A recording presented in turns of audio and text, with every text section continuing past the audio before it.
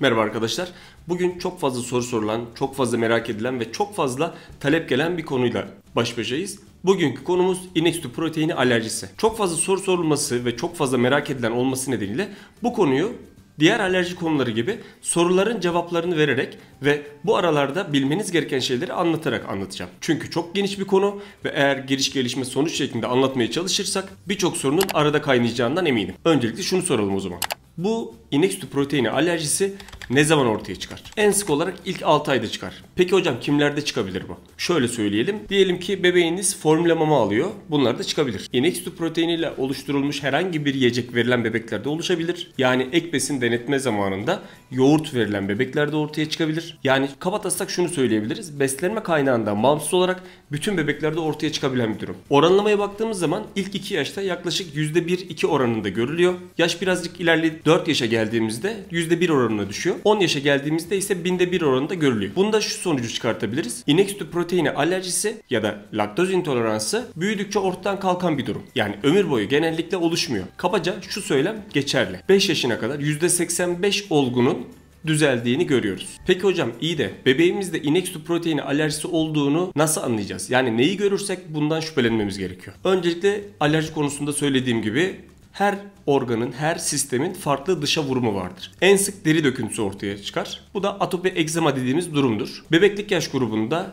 yanaklarda, kollarda ve bacaklarda oluşan 4K durumu varsa bu durumda bebeğiniz atopik ya da egzama gibi bir durumla karşı karşıya olabilir. Bu 4K dediğimiz durum nedir? Kaşıntı, kuruluk, kızarıklık ve kabuklanma. Ya bunlardan bir tanesi varsa bebeğinizin atopisi ya da egzaması var diyebiliriz. Peki başka sistemlerle ilgili?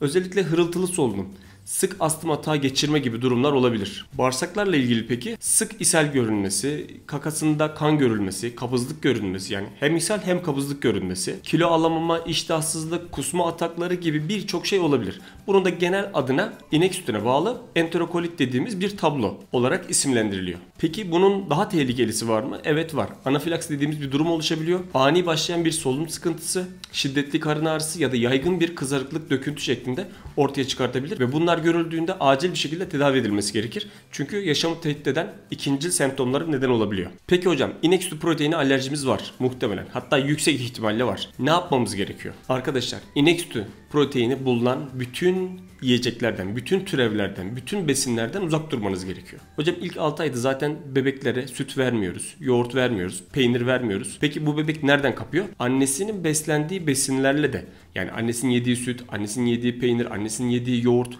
annesinin yediği yoğurtla yapılan kek, sütle yapılan bir içerik ya da annesinin yediği köfte eğer sütle bir şekilde marine edilmişse ya da et içerisinde bir miktar tereyağı varsa bunlar da aynı şekilde inek sütü proteininin varlığından dolayı semptomların devam etmesini sağlayacaktır. Yani bir diyet yapıldığı zaman inek sütü proteini olan her şey, tüm türevler tüm içerikler, tüm birleşimler hepsi yasaklanmalı. Eğer beklerseniz videonun son kısmında birkaç tane inek sütü proteini olmayan besinle ilgili size kısa bir liste hazırlamaya ve bunları anlatmaya çalışacağım. Ama kısa bir şekilde. Çok fazla sorulan sorulardan bir tanesi de hocam peki bu inek sütüyle ilgili proteini pişirirsem bununla ilgili alerji ortadan kalkar mı? ciddi miktarda azalma olmayacaktır. Bu yüzden sakınmaya devam etmeniz lazım. Yani bir maddenin ısıtılmış hali diyelim ki peynir. Peyniri normal yediğiniz zaman bebeğinizde yan etki oluşuyor. Ama peyniri işte yumurtayla ya da başka bir şeyle yedik. İşte ısıttık yedik, haşladık yedik. İşte yüksek ısı verdik öyle yedik ya da mikrodalgayla protein yapısını bozduk öyle yedik. Bu bebeğimize gene rahatsızlık verir mi? Yüksek ihtimalle vermeye devam edecektir. Peki hocam iyi diyorsunuz da inek sütü proteini dediğimiz şey birçok maddede var. Peki bebeklerimizi nasıl beslememiz gerekiyor? Ay ay kısaca bir şeyler söyleyebilir misiniz? Tabi söylerim. Şimdi ilk 1 yaşta yani 0-1 yaş arasında inek sütü proteini zaten vermiyoruz. İnek sütü vermiyoruz. Ama inek sütü proteini içeren yoğurt, peynir gibi besinleri de vermememiz gerekiyor. Bu bebeklere inek sütü proteini içermeyen formüle mama denenebilir. Bebeklerin kalsiyum alma miktarları, kalsiyum ve fosfor gibi kemiğin gelişimini, bünyenin gelişimini ve kasların hareketini sağlayan elektrotlerin eksik kalmaması için kalsiyum desteği verilmesi gerekebilir. Peki anneler de aynı şekilde diyet mi yapacak? Evet. Özellikle annelerin diyet yapması ve inek sütü proteini olan her şeyden uzak durmaları gerekir. Aynı eksiklik annelerde oluşmaması için annelere de kalsiyum desteği verilmesi önerilir. Peki 1 yaşını geçtik. 1-2 yaş arasında nasıl bir şey yaparız? 1-2 yaş arasında birazcık daha anneden bağımsızlığımızı oluşturduğumuz için günlük beslenme miktarı ve günlük beslendiğimiz öğeleri, içeriği çok daha önemli hale geliyor. Özellikle günlük kalsiyum ihtiyacını gidermek için düzenli bir diyet listesinin ve beslenme düzeninin olması çok önemli. Hem bebek için hem anne için. Burada bir dipnot bırakayım. Özellikle bu dönemde olmak üzere hayatınızın ileriki dönemlerinde de hazır besinlerden uzak durmanızı önereceğim ama bu dönemdekinin özel bir sebebi var. Bu dönemde bebeğinizin yediği herhangi bir şeyin içerisinde bulunan farklı isimlerle kodlanmış inek sütü proteinleri bulunur. Mesela tereyağı aroması, süt tozu, süt, kazein, hidrolizat, laktoz, laktüloz, laktoglobulin, whey gibi birçok isimle sizin beslendiğiniz maddelerin içerisinde inek sütü proteini bulunur. Bu nedenle mümkün olduğu kadar yiyeceklerinizi evde hazırlayın ve inek sütü proteini içermediğinden emin olun. Biraz daha ilerletelim. 2 yaşından sonrası diyelim. 2 yaştan sonrasında bir kere zaten hiçbir şey yapmasanız da %50 olgunun tamamen düzeldiğini biliyoruz. Bu hem laboratuvarda hem klinik gözlemde yani kilo almayan çocuk kilo almaya başlar. Karın ağrısı olan çocuğun karın ağrısı gider. İshali olan çocuğun ishali geçer. Kakasında kan varsa kakasındaki kan düzelmiştir. Cildinde döküntü varsa döküntüler artık ortadan kalkar gibi bir sürü şey normale dönmüş olacaktır. Gene de bu dönemden sonra devam eden bir durum varsa özellikle kreşlerde ya da evde hiç fark etmez tükettiği besinlere dikkat etmeye ve inek sütü proteini içermemesi için özellikle araştırma yapmanız, gözlem yapmanız çok önemli. Eğer bebeğinizi kreşe gönderiyorsunuz ya da evde bir bakıcıya bırakıyorsanız ya da anneniz babanız birileri bakıyorsa bebeğinizin yanında eğer alerjiniz varsa ya da anafilaksi öykünüz varsa yazılı ve sözlü olarak bu bilgiyi onlara vermeniz gerekiyor. Bu durumda iki tane öneri hayat kurtarıcı olacaktır. Birincisi adrenalin ya da epinefrin dediğimiz acil durum iğneleri varlığı çocuğun çantasında ya da yanında ya da evinizde bir şekilde bulunduruluyorsa çocuğun hayatını kurtaracaktır. İkinci aşamada bu iğnenin nasıl kullanılacağı ve nasıl yapılması gerektiği ile ilgili ufak bir bilgilendirme, ufak bir eğitim gene hayat kurtarıcı adımlardan olacaktır. Bu yüzden bunları atlamamaya çalışın. Peki hocam bizim inek sütü proteinine alerjimiz vardı muhtemelen ve doktorumuz diyet önerdi. Sonrasında biz 2 ila 4 hafta boyunca diyet yaptık. Yani tarif ettiğiniz gibi inek sütü proteini içeren hiçbir besini beslenmemize katmadık ve çocuğun semptomları düzeldi. Aradan da 3-5 ay geçti. Şimdi acaba düzelmiş olabilir mi? Ne yapalım? Evde bir şeyler denemeye başlasak mı? Sakın arkadaşlar. Sakın böyle bir şey yapmayın. Eğer inek sütü proteini alerjiniz kesinlikle varsa bir sonraki atağınız sadece alerjik semptomlar işte egzemalar, döküntüler vesaire şeklinde olmayabilir. Direkt anafilaktik döküntü, anafilaktik bir yan etki oluşabilir. Yani yaşamı tehdit eden semptomlar ortaya çıkabilir. Bu yüzden böyle bir deneme yapacaksanız çocuk doktorunuzun yanında, alerji uzmanınızın yanında ya da acil servise giderek orada ufak bir denetme yapabilirsiniz. Ama bu dönemler şu Covid dönemi için bahsediyorum uygun bir dönem değil. Belki sonraları durumlar farklı olabilir ama şu dönemde bunun yapılmasını önermiyoruz. Peki hocam inek sütü proteinine karşı alerjim olabilir mi olmayabilir mi emin değiliz. İşte biz 4 hafta diyet yaptık ama hiçbir şey düzelmedi. Arkadaşlar 4 hafta diyet yapmışsanız ve bir şeyler düzelmemişse sorununuz başka demektir. Çünkü 4 haftalık eliminasyon diyeti dediğimiz bizim şüphelenilen madde diyetten, besinden çıkartılırsa eğer güzel bir diyet yapmışsanız, tam tarif ettiğim şekilde diyet yapmışsanız semptomların tamamen normale dönmesini bekleriz. Eğer dönmüyorsa sizin inek sütü proteinine karşı alerjiniz yok demektir. Peki hocam, inek sütü proteini alerjisi olan bebeklerin büyüme gelişme geriliği olur mu? Ya da oluyorsa ne yapmamız lazım? Arkadaşlar bildiğimiz gibi süt en önemli protein kaynaklarından bir tanesi. Ve diyelim ki daha küçük bir yaştasınız. Süt almadığınız zaman sadece proteininiz eksik kalmaz kalsiyum, fosfor, magnezyum, birçok elektrolit, B kompleks vitaminler, D vitamini, A vitamini anlayacağınız birçok şey besinle beraber vücudunuza daha eksik miktarda girecektir. Dolayısıyla bir multivitamin eksikliğiniz oluşabilir. Bu durumda multivitamin destekler verilebilir. Fakat normal durumlarda, normal zamanlarda diyelim ki hastalığınız var, diyelim ki başta bir şeyiniz var, diyelim ki hafif bebeğinizin iştahsızlığı var. Bu durumda multivitamin destek verelim mi?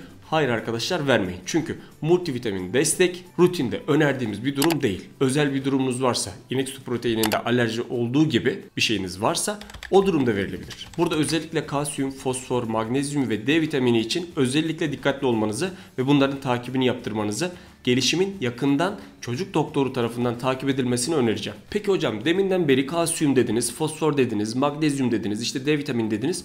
Bunlarla ilgili ne yapabiliriz? Elimizden ne gelir? Yani ev koşulunda ya da doktorumuzla beraber takipler üzerinde neler yapabiliriz? Öncelikle şunu söylemem lazım. Hastalık yoktur, hasta vardır. Dolayısıyla size özel durumu doktorunuz en iyi bilecek kişidir. Yani ben burada sadece kaba taslak ne yapılacağını, yolun nasıl gideceğini size tarif etmeye, içinizdeki kafa karışıklığını gidermeye ve soru işaretlerini gidermeye çalışacağım. Her yaşın farklı şekilde tedavisi, farklı şekilde düzeneği olması lazım. Biz öncelikle 0-1 yaş grubunda neler yapabiliriz bunları konuşalım. Eğer inek sütü proteini alerjiniz varsa ve yüksek miktarda bu durum varsa hidrolize mama verilmiş olabilir ve hidrolize mama verilmişse size eğer bunlar içerisinde yeterli miktarda kalsiyum vardır. Yani ekstra bir şey kullanmanıza gerek olmayacaktır. Fakat hocam bunların tadı çok kötü ya. Ben de tadına baktım geçenlerde iğrenç bir şey. Bebeğim de almıyor zaten. O zaman ne yapacağız? Bu durumda soya sütü denenebilir. Eğer soya sütüne karşı alerjiniz yoksa tabii ki. Kalsiyum yükseltmek için şuruplar, tabletler gibi maddeler yani ekstra vitaminler verilebilir. Ve tabii ki sağlam yiyeceklerle beslenmesi desteklenebilir. Sağlam yiyecek dediğimiz nedir? Kalsiyumu bol, vitamini bol, minerali bol yiyecekler. İşte üzüm pekmezimiz var. Badem, yeşil sebze, kuru fasulye, mercimek, nohut, bakla, incir vesaire gibi bir sürü ek besin sayılabilir size. Kalsiyum içeriği yüksek ve kalsiyum vitamin eksikliğini ortadan kaldıracak semptomların büyüme gelişme geriliğinin ortadan kaldırılmasına yardımcı olacak besinler var. Peki hocam yani bu kadar diyet yapmaktansa inek sütü proteini var yok biz hidrolize mamayı başlayalım. Anne sütünü keselim. Anne mutlu mesut istediğini yemeye devam etsin. Bebek mutlu mesut hidrolize mamayı aldıysa zaten onunla devam etsin. Zaten vitamin eksikliği de oluşmuyormuş. Ne dersiniz? Arkadaşlar inek sütü proteini var diye emzirmeyi kesmeyin. İnek sütü proteini alerji başka bir şey, emzirme başka bir şey. Sizin sadece düzgün bir diyet yapmaya ihtiyacınız var. Yani inek sütü proteinini ortadan kaldırdığınız zaman tamam anne birçok şeyi kendine kısıtlamak zorunda kalacak. Fakat 2 sene çok uzun bir süre değil. Bebeğinizin sağlığı ve gelişimi için bu çok önemli bir dönem. Bu yüzden emzirmeyi kesmeyin, sadece diyet yapın diyeceğim. Peki hocam anneye nasıl bir diyet yapacağız? Bebeğe nasıl bir diyet uyguladıysak aynısını annesine de yapmasını önereceğiz. Bunların içerisinde ne var? İnek sütü proteini içeren herhangi bir ürün. İnek sütü, inek sütüyle yapılan yoğurt, peynir, tereyağı, kefir, ayran, bunlarla yapılan köfte, et ya da yemek, tereyağıyla yapılan vesaire gibi ya da kek ya da poğaça ya da bilmem bir ekmeğin içerisinde süt bulunmuşsa, sütle ilgili bir şey yapılmışsa bunlar bunları içeren hiçbir ürünü annenin yememesi lazım. Bu yeterli bir diyettir. Oo hocam sen de bizi öldürdün yani hiçbir şey yemeyecek miyiz diyeceksin. Evet yani bazı şeylerden uzak durmanız ya da bazı şeyleri yaparken mesela e, et pişirirken tutup da tereyağı kullanmayacaksın. Başka bir bitkisel yağ kullanabilirsin. Bu şekilde tercihleri değiştirmeniz gerekecek. Kısıtlı bir süre için. Hocam orada sanki bir soya sütüyle ilgili bir şeyler söyledin. Yani inek sütü proteini alerjisi olan bebeklerde soya sütü kullanılabiliyor mu? Evet arkadaşlar. Az önce de söylediğim gibi eğer soya sütüne karşı da alerjiniz yoksa kullanılabilir. Öncelikle şunu bilmeniz lazım. İlk 6 ayda aşırı duyarlanmaya neden olacağı için soya sütü kullanılması önerilmez. 6. aydan sonra kullanılabilir ama. Ya da soya sütü bazlı bazı formüle mamalar var. Onlardan bir tanesini de geçilebilir. Hocam peki soya sütü içerisinde fitoöstrojen falan varmış. Çocukların genetiğini değiştiriyormuş. Bazılarını otistik yapıyormuş. Bazılarında farklı yönelimlere neden oluyormuş. Bazılarında böyle büyük hastalıklar oluşuyormuş. Ne diyorsunuz? Arkadaşlar fitoöstrojen fazla miktarda alınan çocuklarda bazı değerlerin yükseldiğine dair bulgular var. Fakat bebeklerle ilgili böyle bir çalışmada böyle bir sonuç olmadığı için biz henüz bebeklik çağında ilk 1 yaşa kadar bahsediyorum. İlk 1 yaşta bununla ilgili herhangi bir sorun oluşturacağını düşünmüyoruz. Yeni bir bilgi gelirse tabi bunu da buradan gene paylaşmaya çalışacağım. Ya hocam ya o fitoöstrojen diyorsunuz bir şeyler diyormuş ya benim içim hiç rahat değil. Biz ke- keçi sütü kullansak, at sütü kullansak ya da eşek sütü kullansak olmaz mı? Yani şöyle arkadaşlar %80 oranında protein yapısı benzer. %10 oranındaki hastalarda rahatlama sağlıyor. Ama %90'ı çapraz reaksiyondan dolayı aynı etkiyi oluşturuyor. Yani inek sütü proteini alerjisi olmuyor bu sefer. Keçi sütü proteini alerjisi oluyor. Dolayısıyla %10'luk bir hastada rahatlama ihtimali var. Deneyebilir misiniz? Deneyebilirsiniz ama uygun koşullar sağlandıktan sonra evde kendi başınıza değil. Peki hocam ya bu çok alingirli bir şey. Biz yapmasak ne olur? Az önce saydığım şeyler vardı ya. Her sistemin kendisine ait yan etkiler, işte ciltte döküntüler çok dert değil. Büyüyünce geçiyor zaten. Evet. Peki solunumla ilgili olanlar işte solunum zorluğu olması, çocuğun işte sık astım atak benzeri bir atak geçiriyor olması, bronşolitlerin sıklaşıyor olması, anafilaksi ihtimali olması, Arkadaşlar bunlar öyle şakaya alınacak şeyler değil. Böyle bir şüphemiz varsa mecburen diyet yapmak zorundayız. Hocam hani bir de şey söylemiştin ya yani bu besinler içerisinde dışarıda yapılan hazır aldığımız besinler içerisinde de bazen inek sütü proteini kullanılabiliyormuş ve bunlar gizli gizli bize verilebiliyormuş. Doğru mu? Evet doğru arkadaşlar. Az önce saydığım gibi işte laktalbumin, laktoglobulin, hidrolizin, whey, kazein, keçi sütü, tereyağı, tereyağı aroması gibi bir sürü madde sizde inek sütü proteinine karşı alerjiyi tekrar gündeme getirebilir. Tekrar sizi rahatsız edebilir. Bu yüzden dışarıdan bir madde alacaksınız, bir besin alacaksınız bebeğinize, çocuğunuza dışarıdan hazır olarak yapılmış bir ürün verecekseniz şizofreni moduna girip biraz paranoyak olup içinde acaba bunlardan olabilir mi diye hepsini liste olarak geçirmeniz lazım. Bu listelerin hepsini ezberlemeniz ve hepsini her seferinde kontrol etmeniz zor. Ama ben bunu yaparım diyorsanız böyle bir şey denenebilir. Peki hocam bununla ilgili bebeğimin ciddi bir gelişme geriliği var ve bir şekilde inek sütü proteinlerini azaltsam da bunu gideremiyorum. Bu durumda ne yapmam lazım?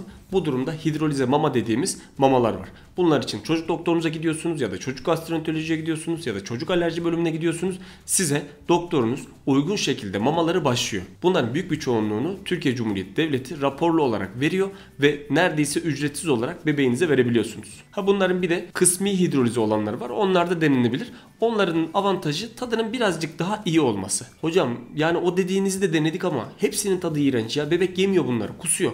Ne yapacağız? Hipoalerjik mamalar varmış mesela onlardan denesek alerji oranı düşükmüş bunların. Arkadaşlar alerjik olmaması demek inek sütü proteini içermiyor anlamına gelmiyor. Bu yüzden hala inek sütü proteini içerebilir ve inek sütü proteini ile beraber ciddi yan etkiler oluşabilir. Bu yüzden güvenli besinler değil önermiyoruz. Peki hocam tamam bu hidrolize mamalardan verelim ama tadını verdim gerçekten içmiyor hocam kusuyor tükürüyor üzerime ne yapacağız? En çok gördüğüm sorulardan bir tanesi bu durumda da pekmezle vanilya ile vesaire besinlerin tatlandırılması ve birazcık daha tolere edilebilir hale getirilmesini sağlamamız gerekiyor. Hocam bir de bir şey duydum inek sütü proteini alerjisi olan bebeklerde inek etine ya da işte keçi etine ya da başka bir şey etine karşı çocuklarda alerjik yan etkiler oluşuyormuş. O yüzden bu çocuklardan dolayısıyla bu annelerden etin de yasaklanması gerekiyormuş. Ne diyorsunuz? Arkadaşlar bu tamamen deli saçması diyorum. Çünkü inek sütü proteini alerjisi farklı bir şey.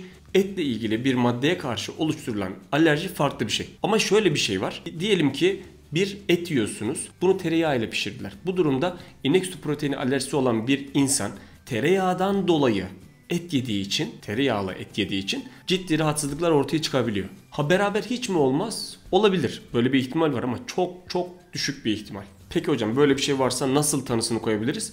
Basit. Alerjide herhangi bir şeye karşın alerjisi varsa nasıl tanısını koyuyorsak aynı şekilde. Birincisi total IgG yaptırırsınız, şüphelenirsiniz. Sonrasında spesifik IgG'ler yaptırırsınız. Bu özel proteine karşı alerji var mı yok mu onu anlarsınız. Cilt testi dediğimiz deri prik testi, intradermal prik testi yapabilirsiniz. Ya da provokasyon testi dediğimiz bir maddeyi başla, kes, başla, kes şeklinde oluşan yan etkiler ve dışa vurumların gözlenmesi şeklinde tanı konulabilir. Şimdi kısaca inek sütü proteini içermeyen hangi besinlerle beslenebilirsiniz onları sayacağım. Eğer zamanınız varsa burada saydıklarımı not almaya çalışın. İçecekler kısmında meyveli içecekler, meyve suları, soya sütü, maden suyu, gazoz, ekmeklerde sütsüz ekmekler, bileşiminde süt, yoğurt, peynir, süt tozu, süt kreması, kazein, peynir altı suyu bulunmayan bisküvi ve krakerler, süt ve süt ürünlerini içermeyen tüm tahıl ürünleri, makarnalar, pirinç, mısır, soya, formül mama içermeyen kaşık mamaları, tatlılar içerisinde jöleler, jelatin, meyve buzları, süt, süt ürünleri, margaritsiz yapılmış kek, kurabiye gibi tatlılar, meyve tatlıları, tüm bitkisel sıvı yağlar, sütsüz margarin, tüm taze dondurulmuş veya konserve meyveler, fırında, ızgarada pişirilmiş veya suda haşlanmış tüm et ürünleri, etler pişirilmeden önce yoğurt veya süt ile marine edilmiş olmaması gerekiyor tabi bu durumda. Et suyu ile hazırlanan çorbalar, sebze çorbaları, kuru baklagil, bunlarla beraber yapılan çorbalar, bal, reçel, jöle, süt içermeyen bonbon şekerler, kahverengi veya beyaz sofra şekeri, süt ve süt ürünleri eklenmeden hazırlanmış tüm taze dondurulmuş veya konserve sebzeler bunların tamamı süt proteini içermeyen besinler olarak güvenli besinler olarak tüketilebilir. Peki süt proteini içeren besinler neler? Tüm süt çeşitleri yani tam süt, düşük yağlı, yağsız, süt tozu, tereyağı, süt ve süt ürünleriyle hazırlanan tüm içecekler, kahve kreması, kahve beyazlatıcı, sıcak çikolata, yoğurt, milkshake, kefir, kremalı çorbalar, bisküviler, pastalar, muffinler, waffle, kek, kraker ve diğer tüm hazır pastane ve market ürünleri, pastane ürünü ekmekler, simit, poğaça, tostlar, süt kazein veya diğer süt ürünleriyle hazırlanan veya ön pişirme işlemi uygulanan tahıllar, erişte, erişteyi, simiti ya da poğaçayı süt ve süt ürünleri bulunmadan, katmadan da hazırlamışsanız o durumda güvenli besin tarafına geçer. Bazı pirinç unları, kekler, kurabiyeler, krem karamel, pudingler, pastalar, tahıllar, şerbetli sütlü tatlılar, dondurma, kremalı paylar, kazandibi, sütlaç, muhallebi, profiterol yani sütlü tatlıların tamamı, tereyağlı tatlıların tamamı, kurabiyelerin tamamı, tereyağı, kreme, margarin, süt süt ürünleri kullanılarak yapılmış mayonez, mayonezli salatalar ve sosların tamamı, süt, tereyağı veya krema ile servis edilen tüm meyveler, süt ve süt ürünleri içeren sosis, salam türleri, köfteler, burgerler, tereyağda kızartılmış etler, kremalı çorbalar, yoğurtlu çorbalar, tarhana çorbası, sütlü çorbalar, tüm hazır çorbalar, terbiyesinde süt bulunan çorbalar, bileşiminde süt veya margarin olan şeker türleri, çikolata, karamel, nugat, krema veya tereyağı ile hazırlanmış sebzeler, soslu sebzeler, sebze sufleleri, bileşiminde süt, peynir, tereyağı, whey, kazein, kazeinatlar, kazein hidrolizatları, laktoz, laktoglobulin veya tereyağı aroması bulunan ürünler, margarin ve bazı hazır galeta unları süt proteini içeren besinlerdir. İnek sütü proteini alerjisi olan insanların bunlardan tüketmemeleri özellikle gerekmektedir. Benim inek sütü alerjisi, inek sütü proteinlerine karşı alerjiyle ilgili bilmenizi istediklerim ve en çok merak edilen sorular ve bazı örneklerle oluşturduğum video burada sonlanıyor. Eğer kafanızda takılan bir şey olursa alt tarafta yorum olarak yaparsanız bir sonraki videoyu gene bunlardan yola çıkarak tekrar hazırlamak ve tekrar size sunmak için düzenleme yapabilirim. Kendinize iyi bakın. Görüşmek üzere.